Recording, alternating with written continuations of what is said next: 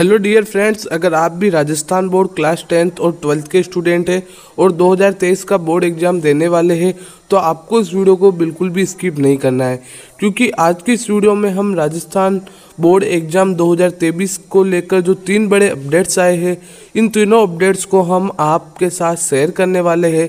तो आप इस वीडियो को बिल्कुल भी स्किप ना करें। तो चलिए वीडियो शुरू करते हैं। तो आप लोगों के लिए बड़ी खुशखबरी है। राजस्थान बोर्ड की तरफ़ से बड़ी खबर ये भी सामने निकल कर आ रही है कि आपके जो बोर्ड एग्ज़ाम है, वो 16 मार्च से शुरू होंगे। ये मैंने आपको पिछली वीडियो में बताया था कि आपके जो बोर्ड एग्ज़ाम है, वो 16 मार्च से प्रस्तावित तो हो सकते हैं। अब मैं आपको बोर्ड एग्ज़ाम में जो तीन बड़े परिवर्तन किए गए हैं, उन तीनों परिवर्तनों के बारे में डिस्कस करूँगा कि क्या क्या राजस्थान बोर्ड ने अब की बार चेंज किया है। तो जो आपका नंबर वन अपडेट है, वो यह है कि अब आपके जो पेपर होगा, वो सवा तीन घंटे का होगा। जी हाँ दोस्तों, आपके जो पेपर ढाई घंटे का होता था, अब सरकार ने उसको बदल दिया है, क्योंकि अब कोरोना नहीं रहा है तो अब आपका जो पेपर है, वो सवा तीन घंटे का आयोजित किया जाएगा। ये आपके लिए पहली सबसे बड़ी अपडेट है। इसके बाद आपके लिए सेकंड अपडेट ये है कि राजस्थान बोर्ड की तरफ़ से क्लास टेंथ एंड ट्वेल्थ 2023 का जो नया सिलेबस है, वो जारी कर दिया गया है। इसमें आपको पाठ्यक्रम के साथ साथ अंक विभाजन भी बता रखा है कि कौन सा चैप्टर आपके कितने मार्क्स का है और किस तरह से आपके चैप्टर्स आएँगे। ये सारी जानकारी राजस्थान बोर्ड की तरफ़ से आ चुकी है और अभी तक आपने सिलेबस को डाउनलोड नहीं किया है तो राजस्थान बोर्ड की ऑफिशियल वेबसाइट पर जाकर आप सिलेबस को डाउनलोड कर सकते हैं। और अगर आपको राजस्थान बोर्ड की ऑफिशियल वेबसाइट पता नहीं है तो हम आपको डिस्क्रिप्शन बॉक्स में लिंक दे देंगे। आप उस लिंक पर क्लिक कीजिएगा और आप राजस्थान बोर्ड की ऑफिशियल वेबसाइट पर पहुँच जाएँगे और वहाँ से आप अपने सिलेबस को डाउनलोड कर लीजिएगा। इसके बाद थर्ड जो बड़ा अपडेट है, वो है आपके एग्ज़ाम पैटर्न को लेकर। अब आपके बहुत सारे डाउट है कि सर एग्ज़ाम पैटर्न क्या रहेगा 2023 की बोर्ड एग्ज़ाम का। तो सरकार की तरफ़ से ये बड़ी अपडेट सामने आई है कि अब जो आपके एग्ज़ाम पैटर्न रहेगा, वो पिछले वर्षों की भांति रहेगा। यानी कि कोरोना से पहले जो आपके एग्ज़ाम होते थे, उसी हिसाब से अब आपके एग्ज़ाम होंगे।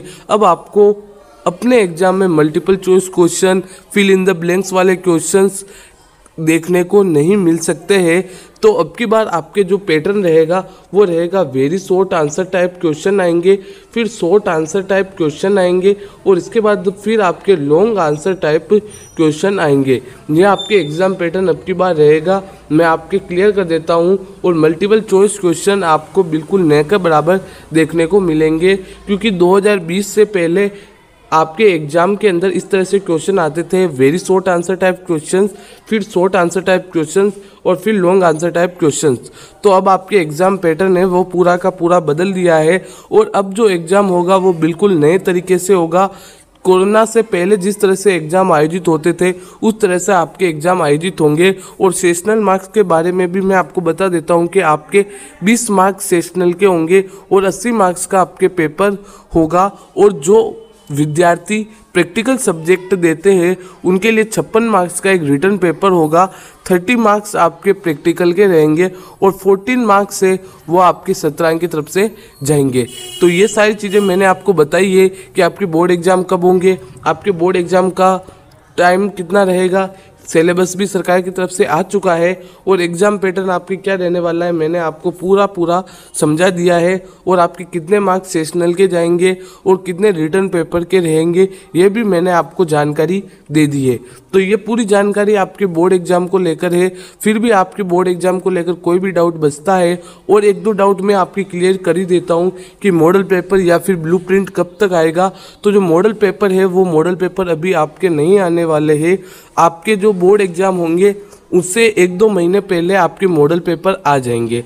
तो आप टेंशन ना लें मॉडल पेपर भी आपको जल्दी ही मिल जाएँगे। और मैं आपको पिछले वर्षों के जो मॉडल पेपर है, उन मॉडल पेपर को इस चैनल पर सॉल्व करा दूँगा। तो आपसे मेरी ये रिक्वेस्ट रहेगी कि आप इस चैनल को सब्सक्राइब कर लें और इस चैनल पर आपको क्लास ट्वेल्थ साइंस वर्ग की संपूर्ण तैयारी कराई जाती है। और मैं आपके लिए जल्द ही हिंदी इंग्लिश की वीडियो लेकर भी आऊँगा।